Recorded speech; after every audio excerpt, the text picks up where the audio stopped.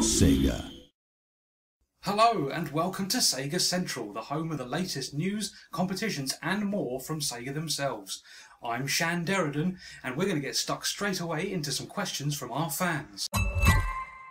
Miles Tails 69 asks, why does the new Project Sonic game look all dark and stupid? I hate you, Sega. Well, I'm sorry you feel that way, Miles Tails 69, and for because you've been so horrible to us, I'm afraid we're going to cancel Sonic Mania. Hairy Teeth 69 asks, why is Project Diva X digital only in the EU? I hate you, Sega.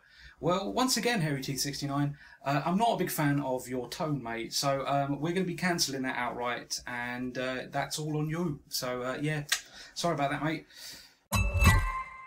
Bloody hell, mate 69 asks, why have you still not announced Yakuza Kenzan and Ishin for the EU? I hate you, Sega.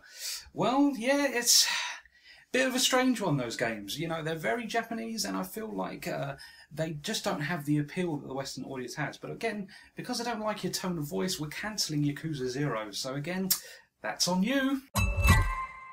And finally i like ponies at 69 asks when are we getting puyo puyo tetris?